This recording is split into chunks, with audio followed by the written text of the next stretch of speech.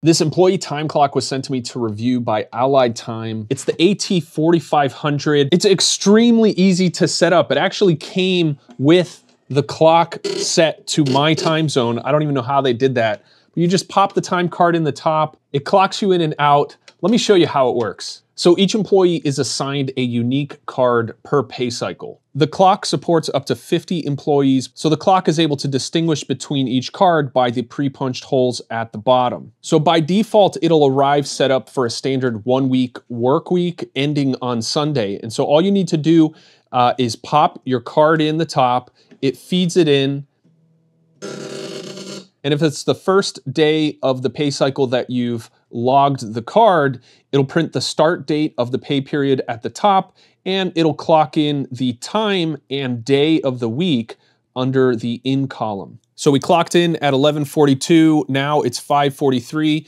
When we're gonna clock out, we just pop this in the top.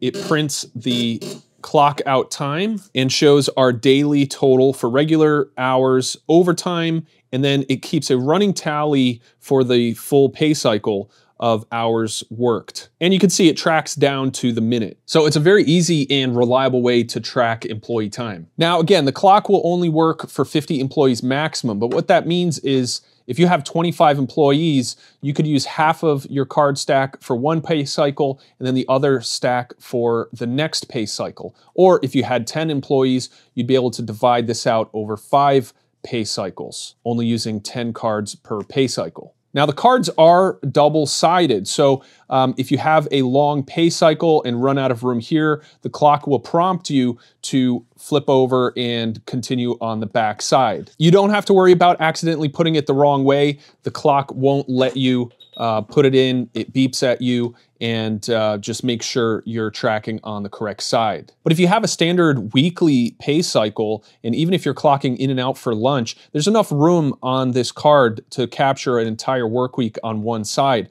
So there is a special setting in the clock that'll allow you to use the opposite side for a second pay cycle. So that'll just save you on having to buy cards. Overall, the clock is really well made. It is made in China, but it's an American company, Allied Time. They're based out of Florida. You've got keyholes on the back for hanging it on a wall. They do provide you with anchors and screws. They include a power supply that just plugs in right at the bottom here, so this gets tucked out of the way if this is mounted on a wall. This display is lit all the time, so you can always see what time and date it is. But as far as the employee goes, they never have to interface with any of these buttons or press anything. All you have to do is drop the card in the top. You also get this nifty card holder right here, so you can have a dedicated slot for each of your employees' time cards for the week. So this can be mounted on a wall, so it's right next to the time clock, so the cards are never far from the time clock. Now, if you need to set up a different pay cycle or change the overtime settings,